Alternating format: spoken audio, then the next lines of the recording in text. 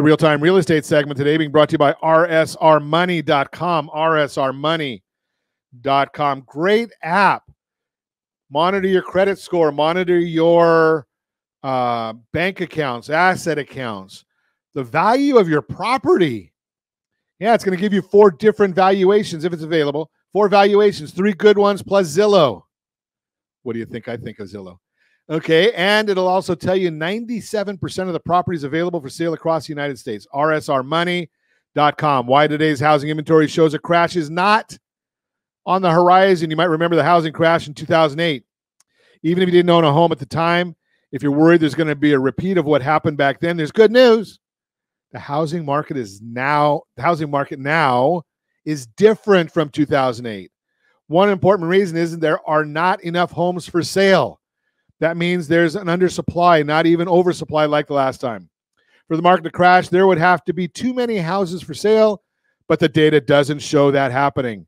Housing supply comes from three main sources homeowners deciding to sell their houses, newly built homes, distressed properties, foreclosures, or short sales. Let's take a look at today's housing inventory to understand why this is not like 2008. Homeowners deciding to sell their houses, although housing supply did grow compared to last year, it's still low. The current month supply is below the norm.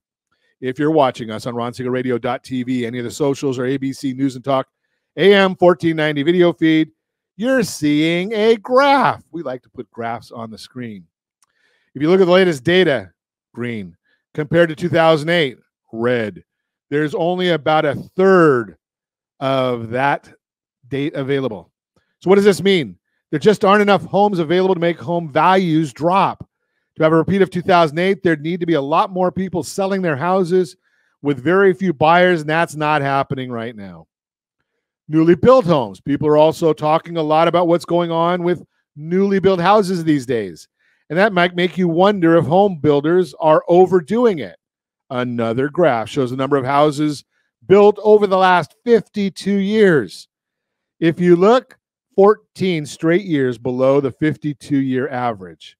14 years of underbuilding is a big part of the reason why inventory is so low today. Basically, builder, builders haven't been building enough homes for years now, and that's created a significant deficit in supply. While the final blue bar on the graph shows that that's ramping up and is on pace to hit the long term average, it won't suddenly create an oversupply. That's because there's too much of a gap to make up. Plus, builders are being intentional about not overbuilding homes like they did like they did during the bubble. Distressed properties, foreclosures and short sales. The last place inventory can come from is distressed properties, including short sales and foreclosures. Back during the housing crisis, there was a flood of foreclosures due to lending standards that allowed many people to get a home that couldn't afford it. If you could fog a mirror, you were approved. Today, lending standards are much tighter, resulting in more qualified buyers and far fewer foreclosures. Another graph from the Federal Reserve to show how things have changed since the housing crash. The number of foreclosure filings is near all time lows.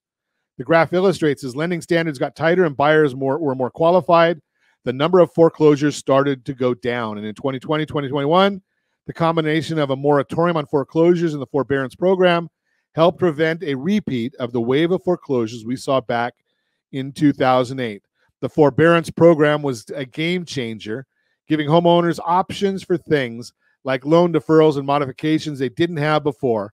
And data on the success of that program shows four out of every five homeowners coming out of forbearance are either paid in full or have worked out a repayment plan to avoid foreclosure. These are a few of the biggest reasons there won't be a wave of foreclosures coming to the market. What does this mean for you? Hey, back on foreclosures, just remember when you hear the media say foreclosures are up 50%, if you go from two to three, that's up 50%, but doesn't mean you've got a lot. Inventory levels aren't anywhere near where they they need to be for prices to drop significantly and the housing market to crash. According to Bankrate, that isn't going to change anytime soon, especially considering buyer demand is still strong. The ongoing lack of inventory explains why many buyers still have little choice but to bid up prices. And it also indicates that the supply and demand equation simply won't allow a price crash in the near future. Bottom line, the market doesn't have enough available homes for a repeat of 2008 housing crisis, and there's nothing that suggests this will change anytime soon. That's why housing inventory tells us no crash on the horizon. Real time real estate segment brought to you by rsrmoney.com.